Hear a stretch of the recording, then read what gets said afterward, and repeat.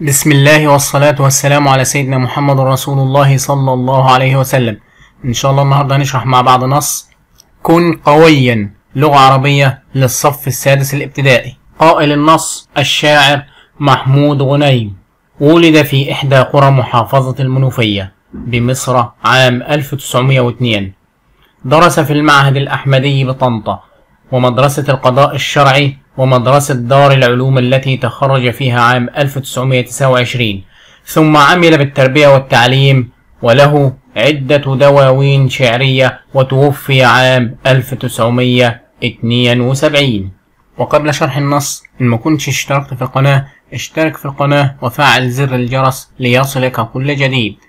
يا شباب العلم في الوادي الأمين. أشرق الصبح فهزوا النائمين. مصر ترجو منكم جيلا فتيا. سالم البنية مقداما قويا. لا ضعيفا خائر العزم عييا. كتب الذل على المستضعفين. إنما الصحة عنوان الحياة. فانشروها نضرة فوق الجباه. وارسموها بسمة فوق الشفاه وابعثوها رحمة للعالمين. نقرأ النشيد مرة تانية مع بعض. يا شباب العلم في الوادي الأمين أشرق الصبح فهزوا النائمين. مصر ترجو منكم جيلا فتيا سالم البنية مقداما قويا. لا ضعيفا خائر العزم عييا. كتب الذل على المستضعفين. إنما الصحة عنوان الحياة. فانشروها نضرة فوق الجباه. وارسموها بسمة فوق الشفاه. وابعثوها رحمة للعالمين. شرح النشيد. يا شباب العلم في الوادي الأمين. أشرق الصبح فهزوا النائمين. يا شباب العلم أسلوب نداء. ومفرد شباب شاب. والمراد بشباب العلم طلاب العلم. وجمع العلم العلوم ومضادها الجهل. في الوادي الأمين المراد بها مصر. وجمع الوادي الأودية وجمع الأمين الأمناء. أشرق الصبح فهزوا النائمين. أشرق الصبح معناها دقت ساعات العمل وأشرق فعل ماض ومضاد أشرق غرب والصبح مضادها المساء. فهزوا النائمين هزوا النائمين معناها معناها أيقظوا الكسالى والنائم مضادها النائمين مفردها النائم ومضادها المتيقظين. شرح البيت. يا شباب العلم في الوادي الأمين يدعو الشاعر طلاب العلم في مصر. حينما قال يا شباب العلم في الوادي الأمين يدعوهم لماذا؟ إلى النشاط واليقظة في عصر النهضة والتقدم. تعبيرات جميلة. يا شباب العلم نداء يفيد حب الشاعر لشباب العلم في ربوع مصر. الوادي الأمين. وصف الشاعر وادي النيل بأنه أمين. على الشباب يعطي من أعطاه. أشرق الصبح. تعبير جميل فيه دعوة للتفاؤل والأمل والثقة في المستقبل. فهزوا النائمين. تعبير يدعو إلى النشاط واليقظة. أيهما أفضل؟ الوادي الأمين أم الوادي فقط؟ كما قلنا الوادي الأمين أفضل. لماذا؟ لأنه وصف الوادي بأنه أمين على الشباب يعطي من أعطاه. فهزوا أفضل أم هزوا؟ طبعا فهزوا أفضل. لماذا؟ لأنه لأن الفاء تدل على السرعة. فهزوا النائمين أم أيقظوا النائمين أفضل؟ طبعا فهزوا النائمين أفضل. لماذا؟ لأنه تعبير يدل على الحرص على إيقاظ النائمين وتنبيههم. مصر ترجو منكم جيلا فتيا. سالم البنية مقداما قويا. مصر ترجو. مصر اسم دولة. ترجو فعل مضارع ومعناها تطلب وتتمنى. جيلا فتيا. جيلا جيلا معناها صنف من الناس والمراد الشباب. وجيلا جمعها أجيال. فتيا معناها قويا ومضادها ضعيفا. سالم البنية. سالم البنية مقداما قويا. سالمة معناها سليم ومضادها مريض. البنية التكوين والمراد الجسم. مقداما قوية مقداما معناها شجاعا ومضادها محجاما. قوي جمعها أقوياء ومضادها ضعيف. شرح البيت.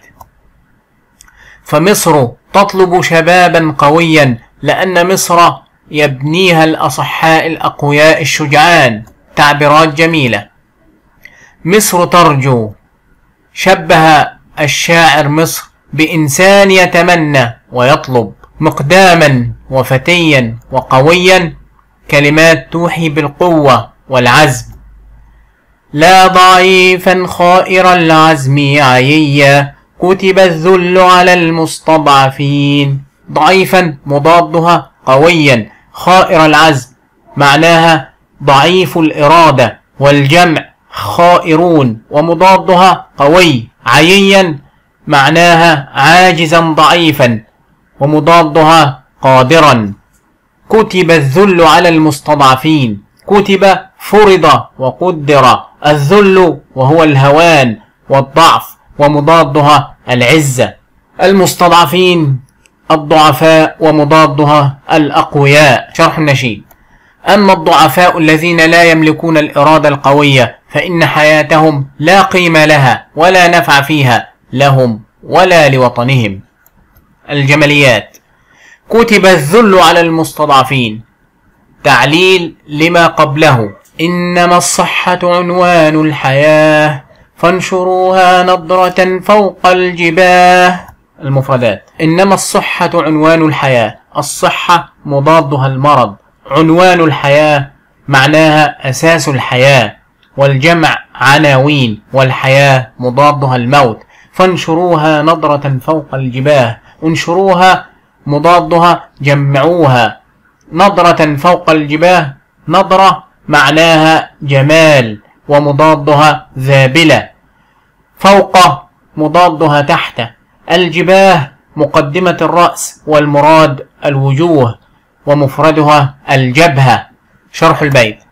إن الصحة هي أساس الحياة وهي سبب السعادة. بها نعمل وعلينا نشر الوعي الصحي بين الناس. جمليات البيت. إنما الصحة عنوان الحياة. تعبير مؤكد بإنما يقوي المعنى. فانشروها نظرة فوق الجباه أسلوب أمر للحث والتشجيع. انشروها وفوق الجباه صور الصحة تاجا فوق رؤوس الأصحاء وارسموها بسمة فوق الشفاه وابعثوها رحمة للعالمين. المفردات جمع بسمة بسمات ومضاد فوق تحت ومفرد الشفاه الشفة وبعثوها رحمة للعالمين.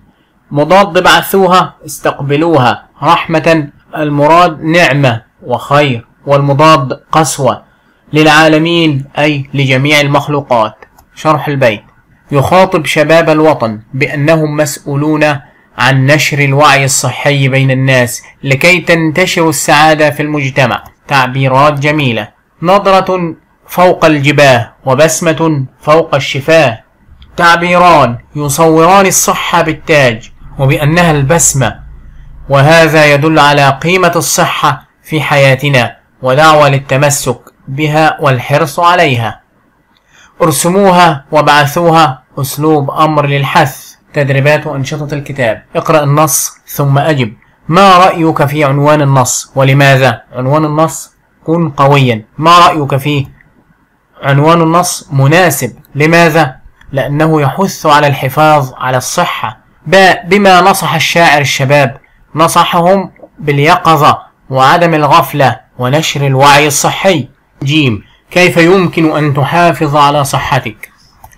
باتباع العادات الصحية والابتع... والإبتعاد عن العادات الضارة. د لماذا تحتاج مصر إلى الأصحاء ليكونوا قادرين على تحقيق النهضة والتقدم؟ أكمل خريطة الكلمة. خائر. المعنى ضعيف الإرادة. المضاد قوي. نوع طبعا اسم. في جملة مصر تحتاج الأقوياء لا خائر العزم. ابحث وتناقش مع زميلك وضع المطلوب في جملة. مفرد الفتية والجباه والشفاه. مفرد الفتية الفتى والجملة. الفتى القوي هو الذي ينهض بوطنه. الجباه مفردها الجبهة والجملة. الجبهة هي مقدمة الرأس. الشفاه الشفة والجملة. اجعل البسمة ترسم فوق الشفة. باء جمع الوادي. طبعا الأودية والجملة. الأودية في مصر كثيرة. جيل جمعها أجيال والجملة. أجيال مصر هم المستقبل. جمع عنوان عناوين والجملة. أريد معرفة عناوين أصدقائي. جيم مرادف هزوا. مرادف يعني معنى. أيقظوا. والجملة. أشرق الصبح أيقظوا النائمين. البنية معناها الجسم والجملة الجسم السليم في العقل السليم. خائر معناها ضعيف والجملة لا تكن ضعيف الإرادة. مضاد أشرق غرب والجملة غربت الشمس من المغرب. مضاد قوي ضعيف والجملة لا تكن ضعيف الشخصية. مضاد الصحة المرض والجملة اعتني بصحتك حتى لا تصاب بالمرض. ثلاثة أكمل عائلة الكلمة. أشرق يشرق تشرق شرقا. ماذا يحدث لو انتشر المرض والكسل بين الشباب؟ لتوقفت عجلة الإنتاج وتأخرت الدولة. باء ماذا يحدث لو جمعنا القمامة يوميا ووضعناها في صناديق مغلقة؟ لقلت الأمراض وازدهرت الدولة. خمسة حدد معنى كلمة المغرب في الجملتين. زرت صديقي المغرب. والجملة الثانية سافرت إلى صديقي في دولة المغرب. الجملة الأولى المغرب تدل على وقت غروب الشمس. أما كلمة المغرب في الجملة الثانية فهي دولة عربية. تحدث عن أهمية الصحة مستخدما الألفاظ والتراكيب التي أعجبتك في النص. الصحة تاج على رؤوس الأصحاء لا يراها إلا المرضى. فحافظ على صحتك. انتهى الجزء الأول من التدريبات والآن مع الجزء الثاني من التدريبات. إن ما كنتش اشتركت في القناة اشترك في القناة وفعل زر الجرس ليصلك كل جديد. كن قويا. تذكر أن محمود غنيم شاعر مصري له عدة دواوين شعرية. الشاعر يدعو شباب مصر إلى اليقظة والعمل. مصر تريد أن يتمتع أبناؤها بالصحة والقوة. الصحة هي أساس الحياة. أكمل. يرشدنا النص إلى نشر الوعي الصحي والمحافظة على النظافة. باء يدعون الشاعر إلى نشر الوعي الصحي والمحافظة على نظافة البيئة. جيم يجب أن نحافظ على صحتنا بأن نتبع العادات الصحية ونشر الوعي الصحي. نشاط ألف. ضع علامة صح أمام العبارة الصحيحة. فيما يلي. ألف الصحة تاج على رؤوس الأصحاء. العبارة صحيحة. باء كثرة تناول الطعام تكسبنا القوة. العبارة خطأ. تناول الدواء دون إذن الطبيب مفيد. أيضا العبارة خطأ. النظافة واجب على الجميع. العبارة صحيحة. نشاط. اقرأ ثم أجب.